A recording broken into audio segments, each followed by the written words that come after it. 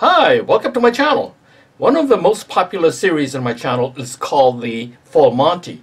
And I've done the Full Monty on the SKS before, but I think it's time for me to update it. Um, the one I did four years ago, I'm going to delete that and replace it with the new one. And uh, what I'm going to do is going to start off with the uh, field stripping first, and then I'm going to do the full Monty. And I think this time I'm going to go a little bit deeper into uh, um, disassembling the uh, sights that I didn't do before. Um, so let's begin. I'm back. The first thing you do is make sure your safety is on safe. And that means it's moved forward. Okay? This is fire. This is safe.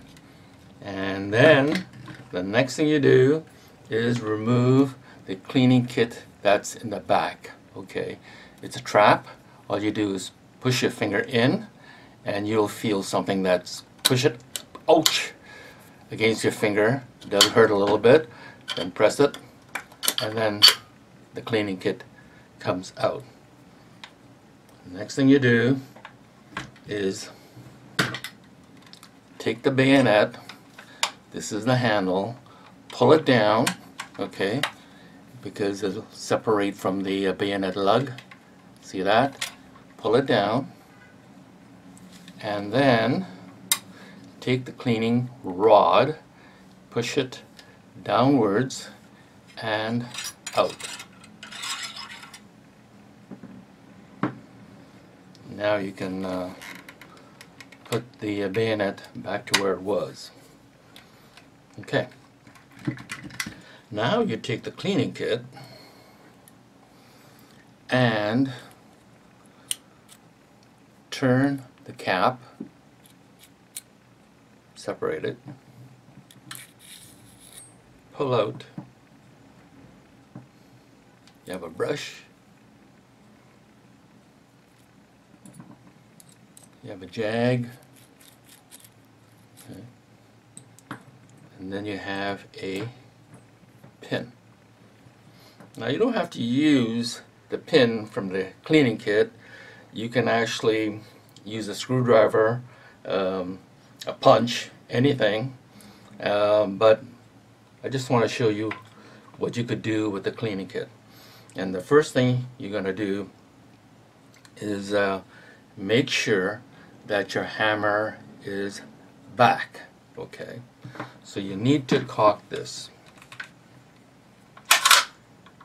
Okay. And because there's no rounds in it, your carrier is going to stay backwards.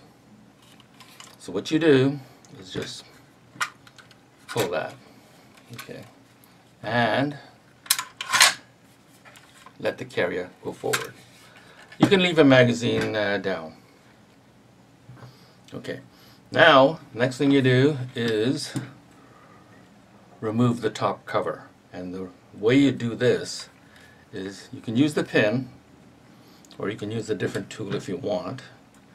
Uh, what I normally do is put it along the side of this uh, top cover catch or the and I just pull it up okay and it is right now in this position, you need to pull it up like 45 degrees. Okay, and it's a little awkward. Now you can actually do this without using this tool, but sometimes it sticks and you may need a tool. Once you got onto a vertical position, you have to pull it to the right. Okay, as soon as you pull it far enough, you're going to feel the top cover moving backwards and that is because the recoil spring is pushing it backwards. Okay. Now, since I'm not going to show you how to reassemble this, I need you to pay attention how you put the recoil spring back because a lot of people make the mistake of putting it wrong and when you do that you're gonna end up uh, damaging the recoil spring and uh, experiencing a lot of uh, fail to feed and fail to eject. Okay, you see this squiggly part? Okay. Yeah, SKS, we call them squiggly. And you can see inside the uh, squiggly is a thin rod, and that's the reason why it's squiggly, because there's actually no support. Okay, and then half of the back end is fairly straight, and the reason why you can see there's a thicker inner tube, and that's what keeps it straight. And when you're putting this back, reassembling it, always put the squiggly part into the carrier, like so. Okay.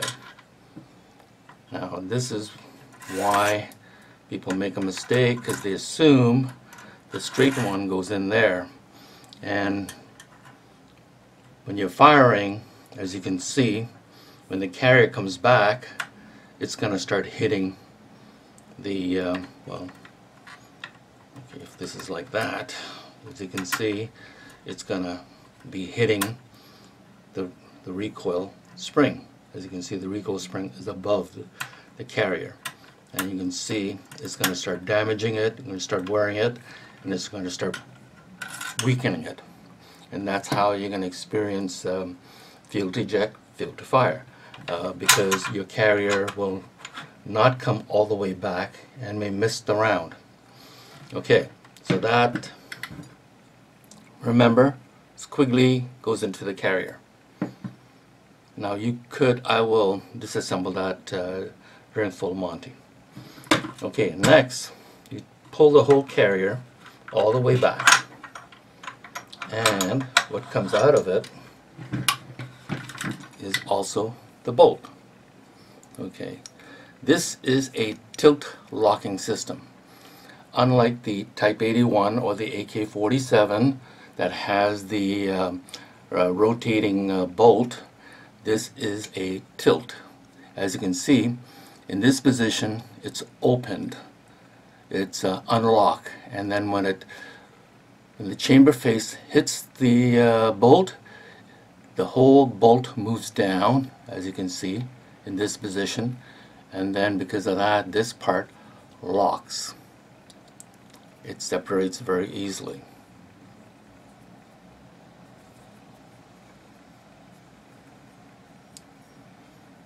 Okay. Now, this is what it looks like. This is the reason why you need to cock it to make sure your hammer is backwards when you're trying to remove it. Otherwise, it's going to hinder it from uh, uh, moving back. Okay. Now, next thing you do, you could um, you could remove the stock if you feel like, but uh, I normally remove the top handguard, and that's uh, and that's this thing right here. Now this rifle sticks a bit, so let's go using the pin, and you see this hole in this uh, top, uh, top handguard uh, catch? That's actually where it goes. Okay, so you take that and move it about 45 degrees angle till you feel that this indent stops where the groove ends okay? And then don't do more than 45 degrees. And then you can start wiggling this top cover. Handguard now I know this one sticks a little bit, so I'm going to be forced to use a screwdriver and I wedge it between the barrel and the ferrule, the back ferrule. And that's how, and that's how I remove it. Okay.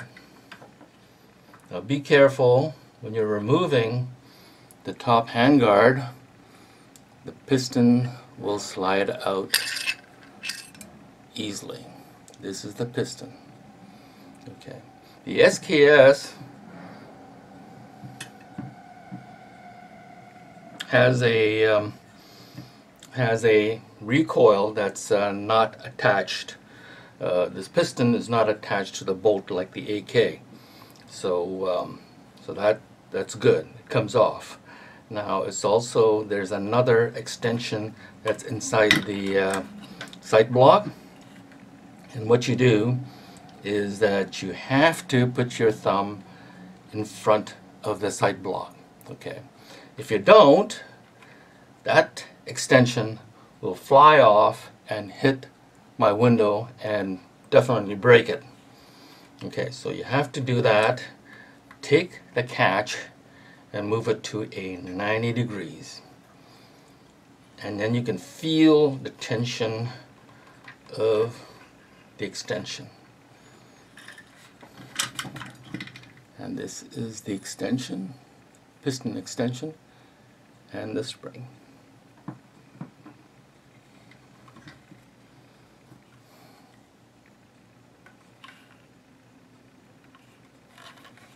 Okay. Now it's time to remove the magazine and separate the stock from the receiver. And again, okay, now push this catch back in, otherwise you're going to break it. And now take the same pin and insert it to the back of the trigger guard. There is a catch, as you can see right here, and there is a recess for a pin. Now you could use a screwdriver if you wish, it'll work, and put this upside down, but again, same thing with the catch for the extension and the top handguard. Make sure these are flat, otherwise you can end up bending them. Okay, and all you do actually um, to get a better control of the pin use the tube from the cleaning kit and insert the pin into the appropriate hole. There is like four different sizes of hole on the side and if this doesn't fit you know it's on the other side. So it fits like this. Okay so now once you got into that position, hold it like that and make sure you're not going to bend the catch. You go like that and then you push in and that's it. And here the whole trigger assembly comes out.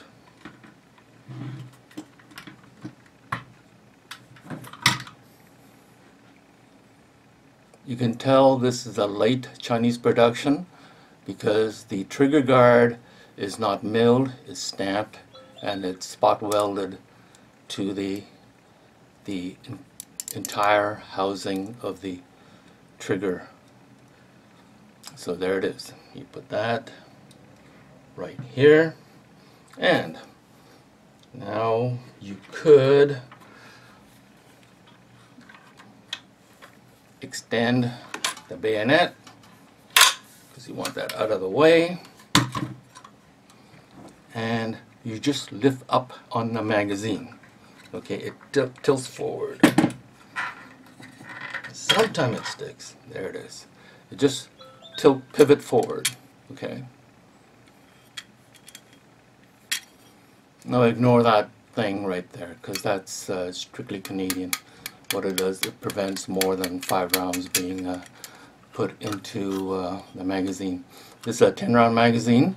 Um, a lot of Americans don't understand what that uh, that pin is for and and when we talk about restricted to five rounds uh, they don't understand what that means but that's what it means it prevents it from loading more than five rounds okay so that's in there now to separate the stock from the receiver, what I normally do is hold it like this, the barrel, and the stock, and just snap it. And it comes off.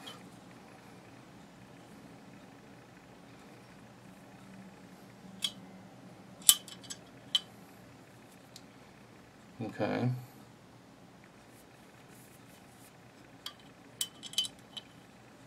This is as far as you go when it comes to field stripping. Okay, you don't go any further than that. And you do not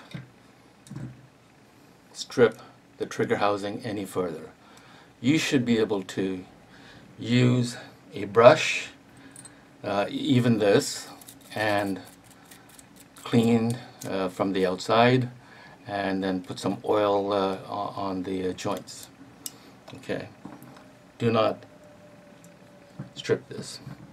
And over here, make sure all the carbon is uh, uh, gone from the face and also make sure your firing pin rattles. Okay, this sounds very good. And uh, if it doesn't rattle, then of course you need to, you know, separate the, the firing pin and clean it. Uh, it's probably got full of carbon uh, in the in the hole there. But other than that, uh, do not put any oil in the firing pin. Okay. So basically, that's it. So when I come back, I'll start working on the full Monty. Okay, to start with the full Monty, let's start with the stock. And um, let's remove the uh, butt plate. And you can see two screws there and they're a um, straight edge. Just use the ordinary one and um, basically unscrew. And these are the screws, straight edge. And the butt plate just pops back. It's hollow. This is where the cleaning kit goes in. And this is the trap door.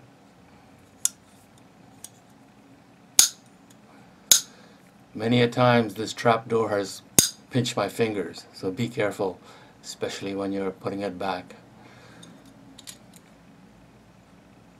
Okay.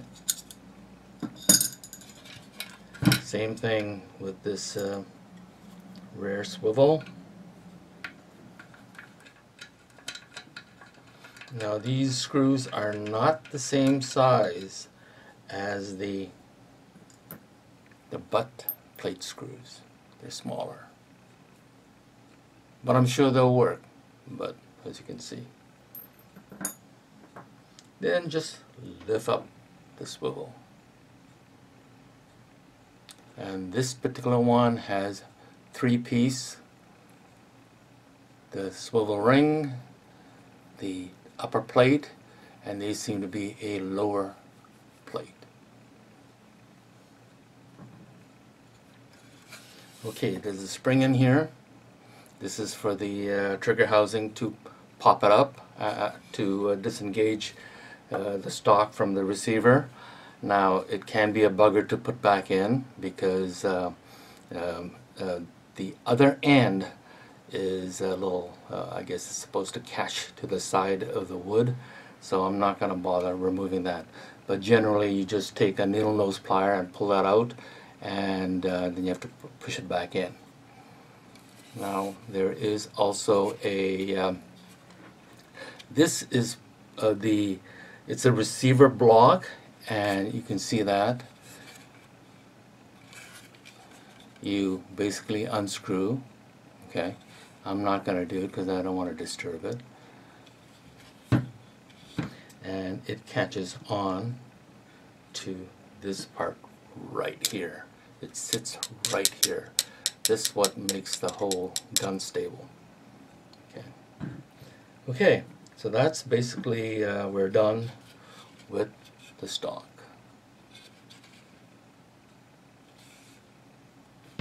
Let's put this aside. Now, as far as the receiver concerned, there's not a whole lot you can do.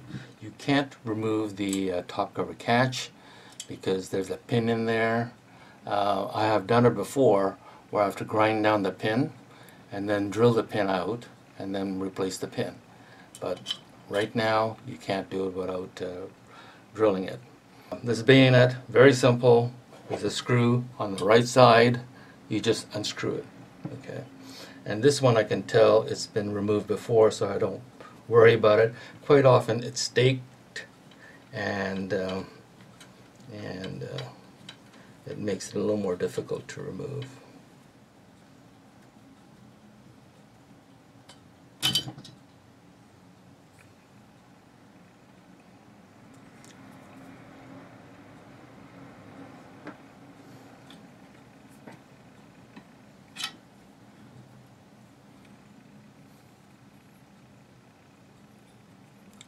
This is the handle.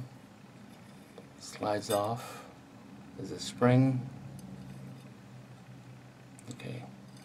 Now when you're putting it back together, a lot of people makes the mistake of putting this wrong. Okay. It does not go like this. The Chinese uh, spike is different from the Russian spike. The Russian spike has four ribs. The Chinese have three. And it actually, if it's three, it's two on the side, one at the bottom. Okay. And the reason why it's at the bottom is when you fold it, it will fit comfortably onto this front ferrule like this. Okay. Imagine if the two ribs on the side, then it'll sit like this. Then what's the point of having that groove there? That there's a purpose of the groove, and that is to accept the single, as you can see, the single rib. And it sits on the groove. And the two groove, uh, two ribs is left and right. Okay. So be aware of that. A lot of people make that mistake and it's so obvious that they uh, put this in wrong. So that's another thing I had to point out to people uh, whenever they reassemble the bayonet, do it properly. Okay, now let's work on the rear sight. Now it's pretty simple and now it was difficult to push the leaf down and insert the screwdriver in this gap and then push the leaf backwards. So I was forced to use a clamp. Now I can't, uh, and this is the setup right here. Okay, so you tighten this up and make sure that you put some sort of a, uh, like electrician tape so you don't mar up your uh, leaf. So basically this is what it looked like. Okay. Now insert the screwdriver between the leaf and the sight block and basically push it back. Clamp the leaf down, insert the screwdriver and then force it backwards. And when you force it backwards, it should snap out like this.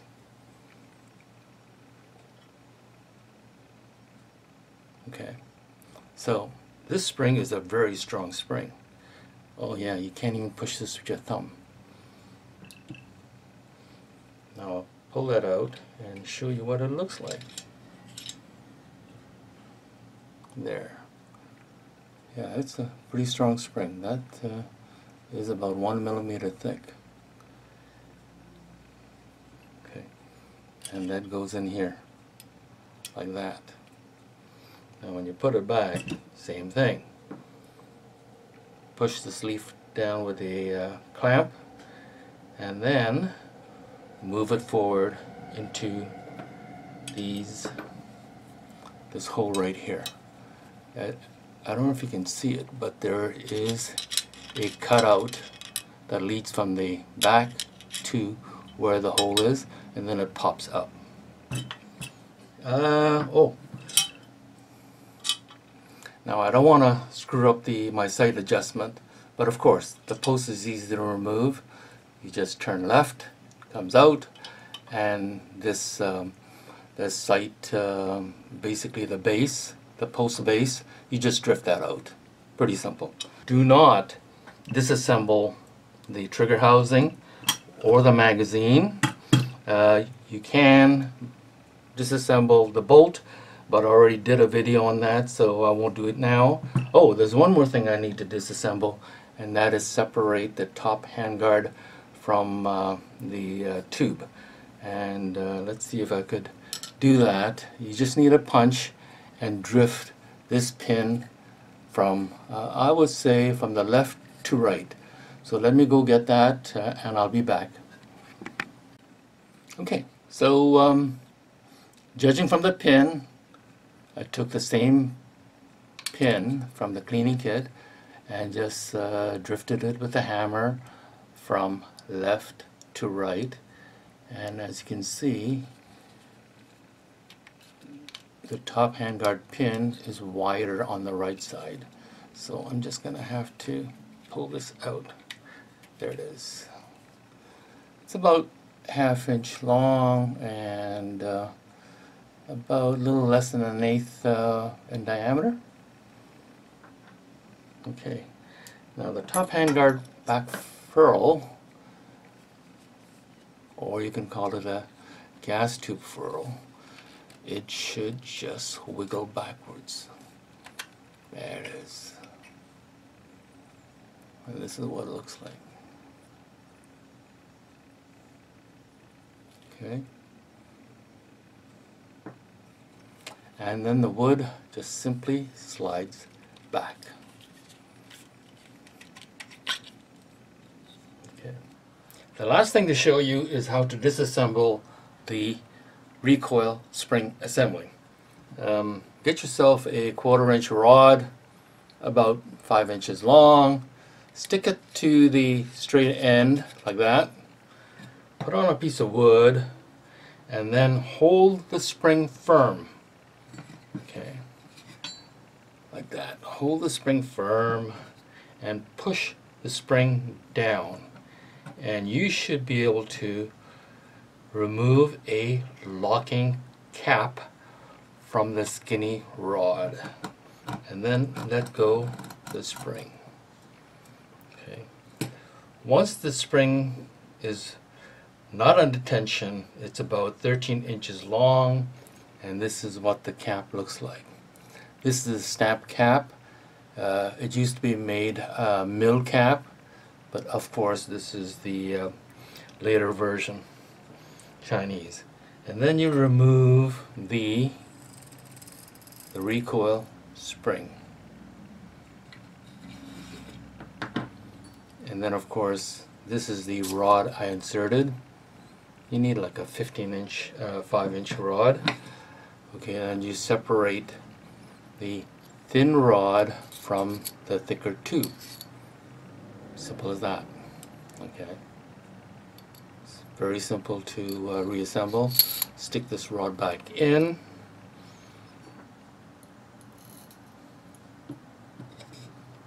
Take a quarter inch uh, rod stick it into the thicker tube place it on a piece of wood, slide the spring all the way down, okay, till the top of the skinny rod appears. Then take the locking cap and place it like this. And now remove your 5 inch rod and that's basically it. So that concludes the uh, SKS uh, Monty. Thank you very much for joining me. Please hit the like button and please subscribe. Thank you.